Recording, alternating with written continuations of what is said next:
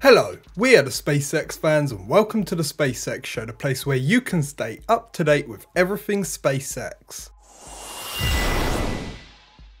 We'll start this video by looking at an upcoming launch as you can see on the SpaceX fans website. We can hopefully expect the first Starlink launch of 2021 on Sunday with the Starlink 16 mission.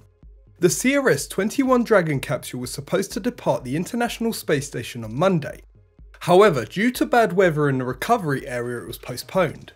Yesterday the capsule undocked from the ISS to make its journey home. In response to SpaceX's tweet, Musk said one day we'll get a camera up there that also shows the starfield in the background. I think that would be really cool.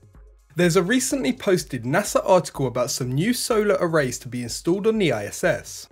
There will be six panels they'll be sending up and they will be sent in Dragon's unpressurized trunk across three resupply missions starting this year. We have another article, this one is from Ars Technica about Russia considering giving fines to citizens who use Western based internet services such as Starlink. Also some really exciting news at least for those of you like me who are in the UK. The UK's communication regulator has approved Starlink user terminals thought I'd share a tweet from S. Padre who asked for the Boca Chica restaurant to be named. Musk responded with the Prancing Pony. Looking at a couple of things in Boca Chica, here's a view of the orbital launch pad area under construction. Here's a closer view at the conduit work going on. Here's a view of the old Gaswell Lot 2 where stuff is stored and work continues. A newly sleeved thrust dome stack was flipped in the yard.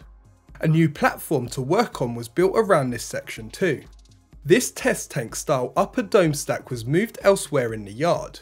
Lo and behold, these two sections were stacked with one another to create a new test tank.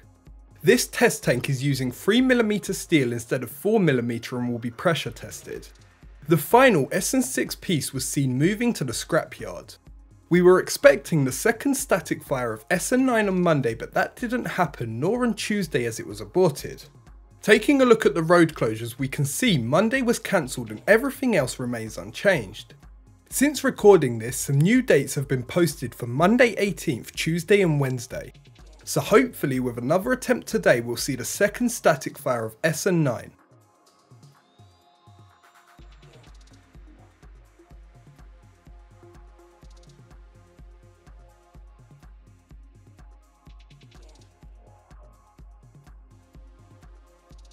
The Tuesday TFR was obviously pulled with the static fire expected still.